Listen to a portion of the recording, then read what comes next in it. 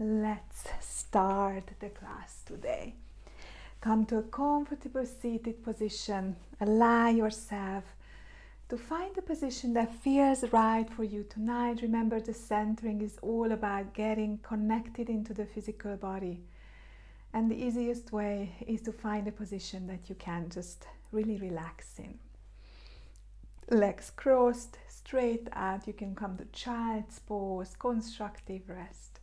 Anything. You can even start sending or sitting on a couch anything that you can connect with. Relax the shoulders, find the stability in the lower body.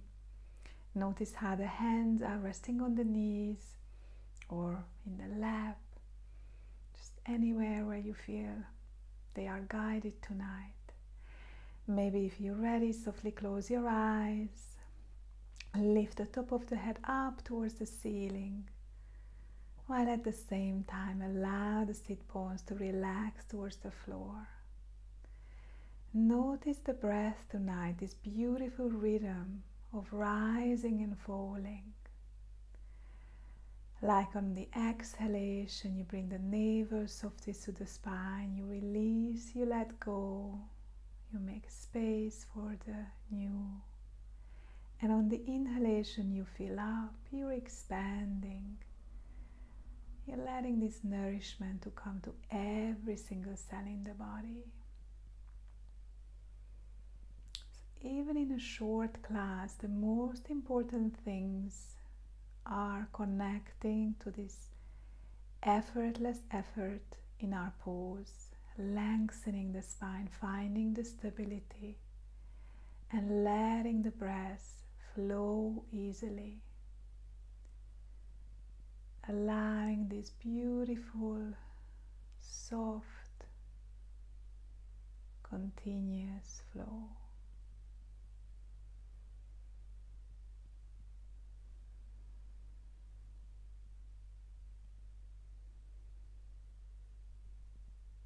And let's start our practice with our intention, bringing the hands, left palms come comes to the heart, right palm comes over it and just resting the hands on the heart. Make your intention for today's class. Set your sat nav in. Which direction would you want to go towards? Where do you want to expand? And to seal that intention further, bring the palms together, thumbs pressed into the heart center. We tune in with the Om mantra three times together to raise the vibration for the class, you can join in or just let the sound vibrate through you, starting on the exhalation. the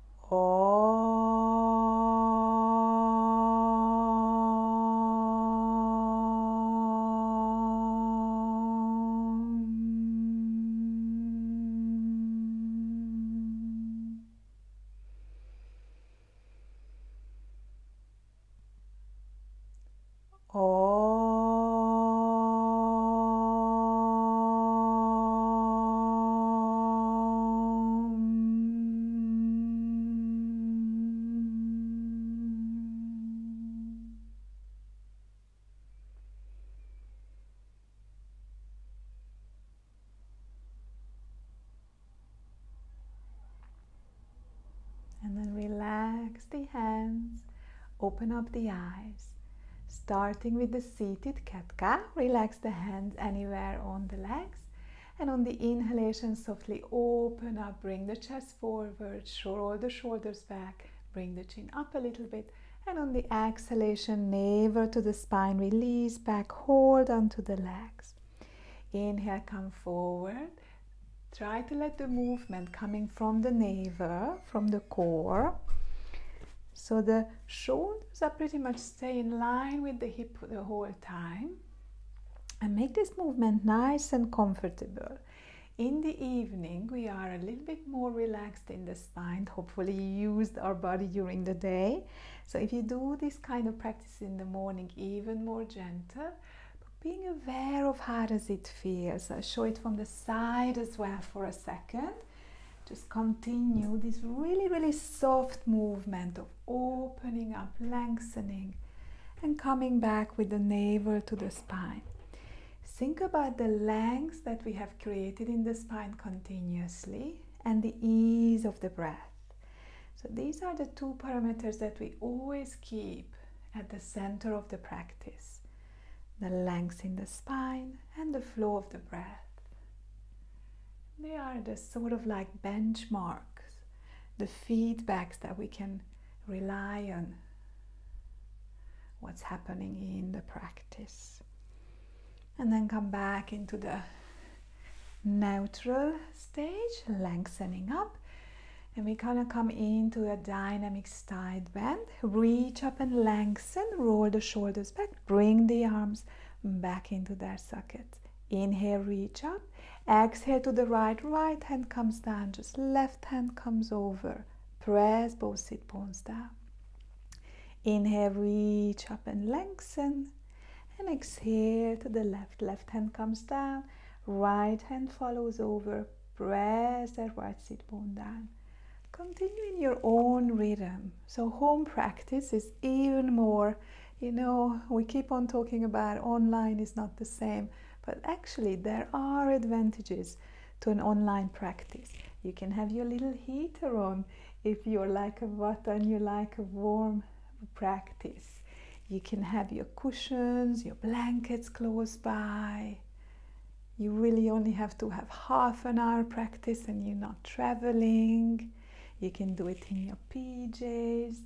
But most importantly, you can follow your own breath. So you don't have to follow mine or the students next to you, but your own breath. A very simple movement connecting, synchronizing the movement to the breath. Inhaling, reaching up, rolling the shoulders back. And we're going to move into the twist, reaching up, lengthening, chin parallel to the ground, and on the exhalation, turning the belly, the shoulders, chest, shoulders, and the head last, and releasing the right hand behind, left hand on the right knee or anywhere on the leg. And on the inhalation, you open up, reach up and extend, find a neutral spine stability. And on the exhalation, make your way to the twist. The evening is Vata time, so we're trying to slow down, smoothen, oil, nourish, ground. These are our intentions connecting to the time of the day. And as you all know, I keep talking about the season is also Vata. And most of my students, we have entered the Vata stage of life after about 45 years. So just one more to the left. And then coming back to the center and relax the hands. So we just did the six movements of the spine. I had a video before about this.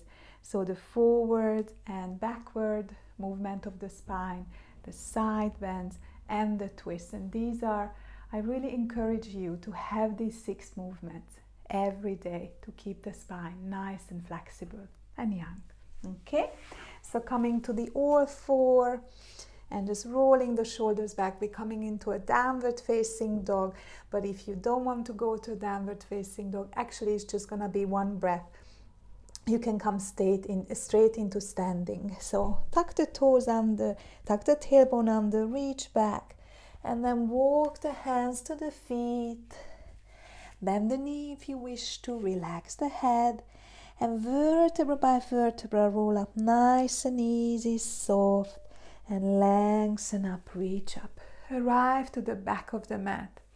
Today I promise to make sun salutation easy And this is like a modification that you can come to if the teacher says in class, we're gonna come into sun salutation, and you know that's not really your cup of tea or coffee, and come into this version. We're going to do two different kind of version. So one is to start at the top of the mat. This one, you don't even have to lift the arm if it's difficult for you to raise your arm. So you can even bring the arms, roll the shoulders back, and just touch it to the heart center. Inhale, lengthen the top of the head up, tuck the tailbone under, root down with the feet. On the exhalation, slowly, like you have a beach ball in front of the belly, roll down vertebra by vertebra. Allow yourself to relax here, bend the knee here if you wish to. Take an inhalation down there and on the exhalation, activate the core. So bring it to the spine and slowly walk forward into a plank. But you can bring the knees down straight away. Okay? If you don't want to go down into the cat into the cobra, which we will do in the next, you can bring just the hand underneath the shoulders and go into a cat. So the all four version, what we have done, seated, let the belly drop towards the floor, open up, shoulders come away from the ears. And on the exhalation, vertebra by vertebra, starting from the tailbone, release into the C position, navel to the spine. Let the head hang. And you can stay here for a couple of rounds, as you see in the second round, all the way until other students come into Cobra and five breaths of the downward facing dog, you can stay in this cat cow variation just as beneficial for you. And when the rest of the class starts to come to the forward fold, you can tuck the toes under, push back into a down dog, activate the core, navel to the spine, walk back again to the forward fold, and roll up. Nice and easy. So you still had all the benefits the forward fold, the strength of the plank, you had the back bend in the cat cow. Just one breath of down dog and came back until your body is ready for more. Especially good if you have high blood pressure and you don't want to be in downward facing dog. Okay, second variation, you can start from the back as well, or I'll show you how to start from the front. So this one again, you can just bring the hands to the heart or you're okay adding your arm. Inhale, lift and lengthen, reach up. Exhale, fold forward, either bend the knees deeply or let the head hang here and keep the legs straight. Inhale, come up halfway, look up and extend.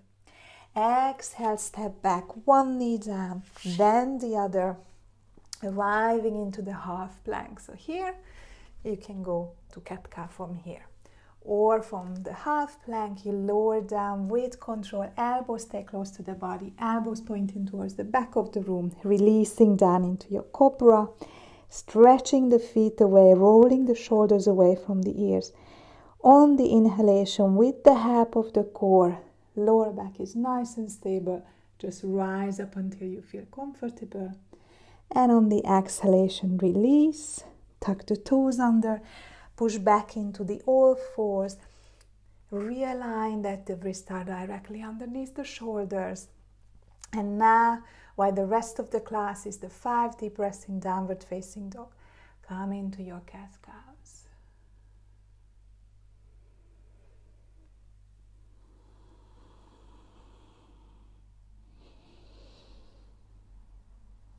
So really don't be intimidated if a set of series or a posture doesn't feel comfortable for you. There's always a modification that the teacher is more than happy to give to you. Some days I really can't wait to get on a sun salutation, a flow, but some days just a nice slow version is just as nice. So, whenever you're ready, tuck the toes under, push back into your downward facing dog, and taking soft little steps, arrive in between the hands, bending the knee if you wish to. Inhale, come up halfway, look up. Exhale, release. Inhale, come all the way. But of course, if you don't want to bring your head knees, the hip for inversion, then just rest the hands on the thigh and come up halfway. Okay? Then we're going to do one more version, which is a little bit more advanced, but it's still a vata pacifying one with child's pose and going nice and slow. If you don't want to go there, just do any of the previous versions. Realign into Tadasana, root the feet down, activate the core, find the length in the pose. The effortless effort, notice the elongation of the spine and the beautiful expansion and contraction of the breath. Next inhalation, bring the arms up, palms together, extend up. Exhale, fold forward, let the head hang, relax. Inhale, come up halfway, look up. Exhale, step back with the left leg, arrive into the lounge. Roll the shoulders back, stabilize here, don't rush. And then step back with the right leg, arrive into your plank. Nice, strong, building strength, activating the core. Then bring the knees down, flatten the feet and softly push yourself back into an active child's pose, reaching the hands forward, letting the forehead come to the ground, sit bone reaching towards the heel. Inhale, come forward into the eight point pose, tucking the toes under, knees are down, rolling down with the chin and chest, hands are stretched next to the body, and then release down to the floor Inhale into your cobra. Can come a little higher, but you don't have to. Release them, Tuck the toes under and press back into a downward facing dog. Lengthen here and then bring the knee down. Prepare for child's pose again. Stretch the feet away. Push the seat bones towards the back of the heel. Lengthen. Inhale. Come forward, roll the shoulders back, activate the core, tuck the toes under, arrive into your plank, lengthen here. Breathe. And then bring the left leg in between either little steps or one big movement, arriving to the lounge with the left leg forward, straight spine. And give yourself a little push to arrive into forward, forward, gentle, slow. Inhale, come up halfway, look up. Exhale, release. Inhale, come all the way up, reach and extend. And then come back into Tadasana. So from here, come down to the floor. And I'm going to show you three twists. We're going to do the sun salutations are a beautiful set of sequences and it includes it's such an energetical a complete circuit. The only thing they are missing is twist. So i quite if you just want to do a couple of sun salutations a day finishing with a twist and shavasana that's already a beautiful practice.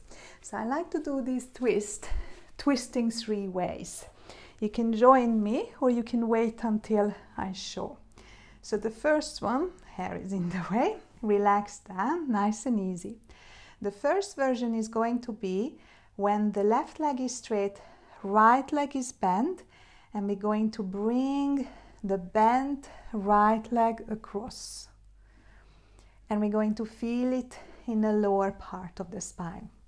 Second variation, we're going to bend the left leg, cross the right leg over it, and we're going to bring the bent legs over, and we're going to feel, bring the hands diagonally and we're going to feel the stretch a little bit higher in the middle back.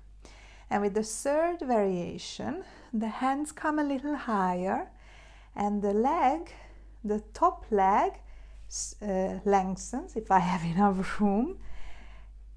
Top leg is straight, bottom leg is bent, and you're gonna feel it more on the upper part of the spine. Okay, but we're going nice and slow. So to set up, lengthen the feet away, roll the shoulders away, bring the chin in. Just allow the right leg to come into the chest, hug the right leg in, lengthen the left leg out on the floor. Bring the right hand out, relaxing the palm facing down, relaxing the shoulder. Take a deep inhalation and on the exhalation, softly start to guide the right leg across to the left. You can use the left hand to help. And only go until your shoulder can stay down. Twist is nice and comfortable, and you feel a beautiful twist at the lower part of the spine. If you want, you can close your eyes in here. And just relaxing into the movement.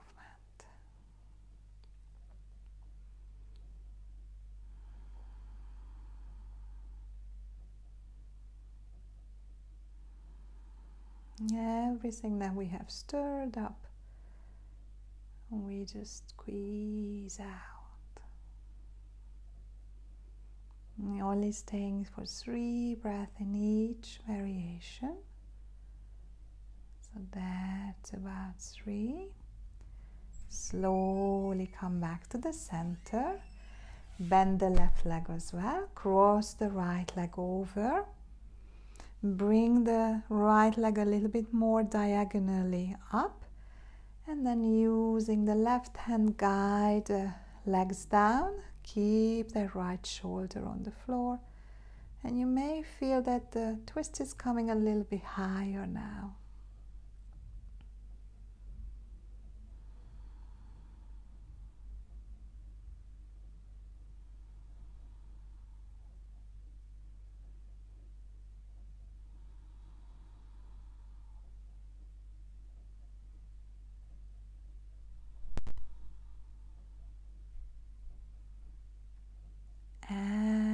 three.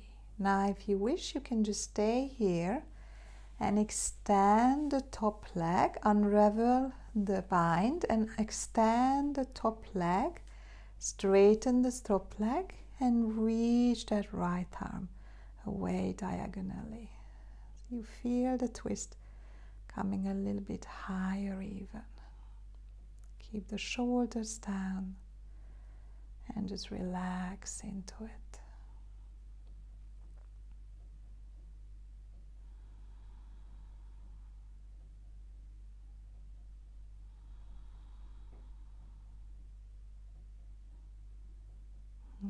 Exhale two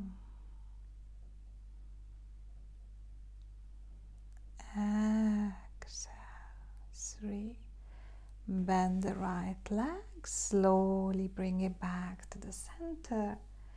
Stretch both legs out and notice how you're feeling between the two sides. Have you noticed do you notice that you have done this I certainly do. It feels so good to come into these deep stretches after all this walking. Let's go to the other side. Hug that left leg in. Lengthen the right leg away. Chin tucked in, the whole of the spine relaxing on the floor. Left hand stabilizes, relax the shoulder and guide the left leg across with the help of the right hand just until you feel comfortable. It may not go all the way. Just be aware of how this feels today. And the twist is just a little bit at the lower back, nice and soft. It's all about smoothing ourselves into the pose, softening into Exhale two.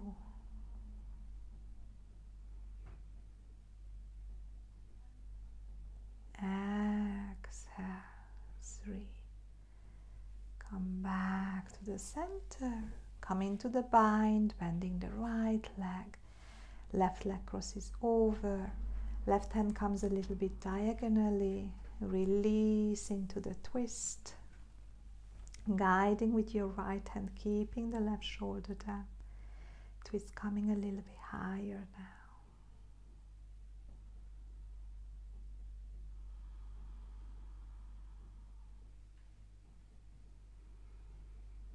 Make sure you enjoy it, that it feels nice and relaxing. Exhale two. Exhale three. Unravel the leg, stretch the leg in front of you. Extend the arms a little bit further up if you can. Relax the shoulders and just relax into the twist. Top leg is straight, bottom leg is bent. Opening in the heart.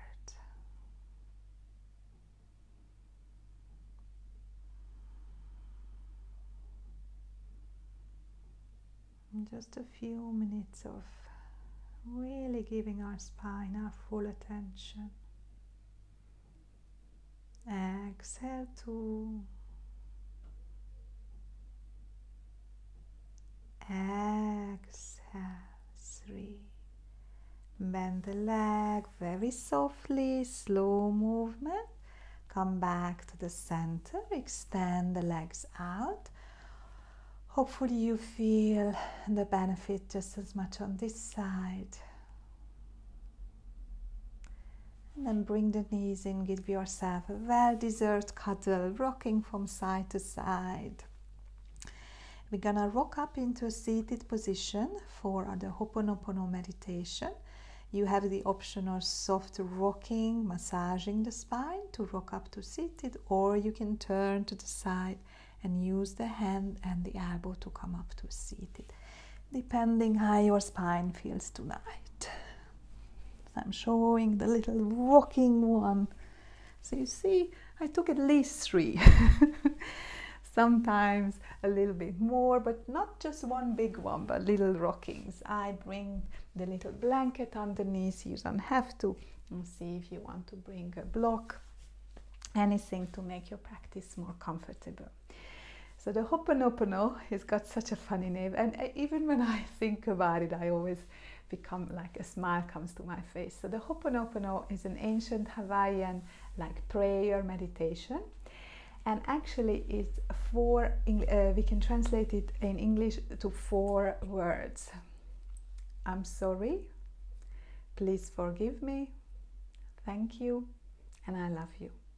And the basis of this meditation is that we are actually, whatever happens on the outside world, is a reflection of our inside. So whenever we brought in something that we don't feel very excited about, very happy about, it's actually showing us where we need to, where is the lesson, what we, what do we have to change. So I'm sorry that I brought that situation in. Please forgive me, so I release it. I'm thanking the lesson and I'm sending out love. So whenever we feel that there is something is just not feeling right, I think this year we can have that feeling, uh, then this meditation is just really such a beautiful and, and maybe I, um, I have a blogs about it and I can attach it here if you're interested. Some videos from YouTube. So it's just a really nice mantra. You can play it in the background as well. Coming into a comfortable seated position. Relax the shoulders, lengthen the spine. Allow yourself to settle here. And we're just going to repeat these four words. I'm sorry. Please forgive me. Thank you. And I love you. I'm sorry. Please forgive me. Thank you. I love you.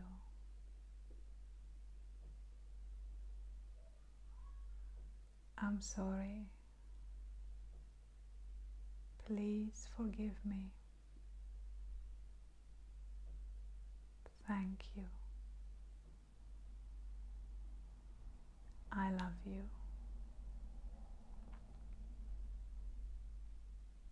I'm sorry. Please forgive me. Thank you. I love you. I'm sorry. Please forgive me. Thank you. I love you.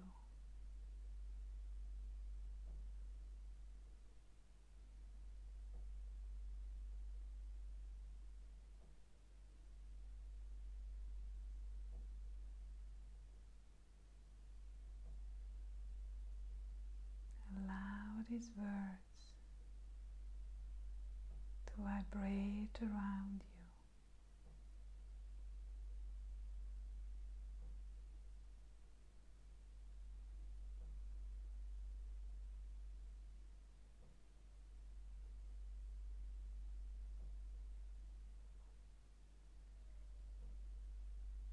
Bring the hands to the heart. Roll the shoulders back. Gently touch the thumbs to the heart center. If you have time now, then just switch the recording off and make your way into Shavasana for a couple of minutes. Or if you're ready, just to start your evening now, just nice and relaxed. Then bow your head to the heart. Give yourself a big thank you for coming to the mat tonight. I thank you for joining me. Create the heat between the heart, within the palms, and then cover the eyes with the hands. Just let them relax in them, feeling them up. Blinking the eyes open. Massaging, letting the light in.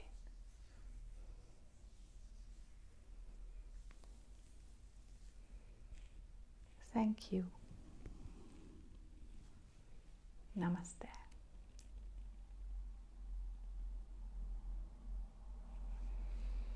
Thank you for practicing with me tonight. So, regular practice, six movement of the spine.